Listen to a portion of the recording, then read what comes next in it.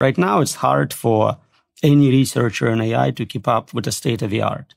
While I was doing this interview with you, a new model came out and I no longer know what the state of the art is.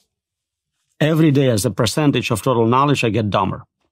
I may still know more because I keep reading, but as a percentage of overall knowledge, we're all getting dumber. And then you take it to extreme values, you have zero knowledge, zero understanding of the world around you. Some of the arguments against this eventuality are that when you look at other technologies like the industrial revolution, people just found new ways to to work and new careers that we could never have imagined at the time were created.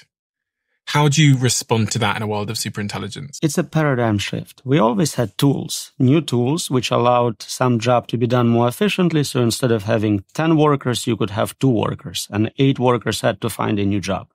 And there was another job. Now you can supervise those workers or do something cool.